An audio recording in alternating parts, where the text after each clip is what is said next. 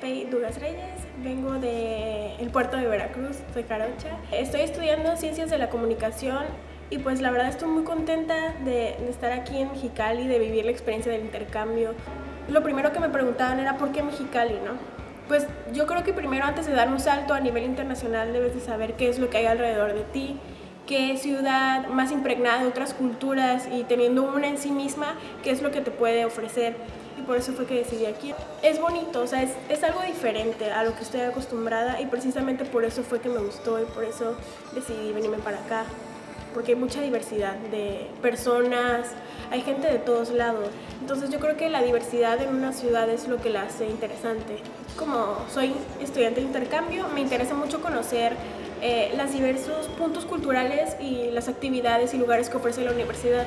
Entonces, eh, desde el principio me habían comentado del, del museo y aquí me llamó la atención que es el choque de los orígenes de Baja California, de Mexicali como ciudad y pues de todos los grupos culturales que estaban antes y pues obviamente el contraste con el arte moderno y contemporáneo.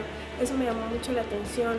Yo creo que los artistas de aquí o las personas que vienen aquí se inspiran precisamente en, eso, en el choque cultural, en la cercanía que tienen con la frontera y en la visión del mundo que es completamente diferente aquí. Te platicaba que son personas entregadas al trabajo y a la forma de vida de aquí.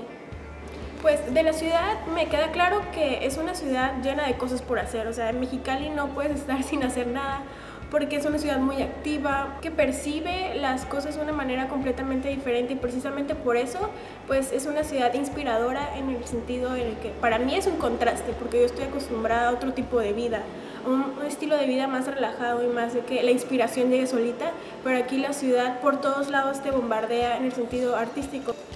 Quieran conocer esta ciudad con una mentalidad completamente abierta y que estén enterados de que es una ciudad bastante bonita, o sea, no hay, no hay día en que en Mexicali no se haga algo diferente, a pesar de que tiene un choque cultural bastante interesante con Estados Unidos, tiene un clima eh, cambiante, pero te puedes adaptar. Son, es una experiencia completamente diferente y por qué no tenerla en una ciudad que está aquí, ¿no? En México.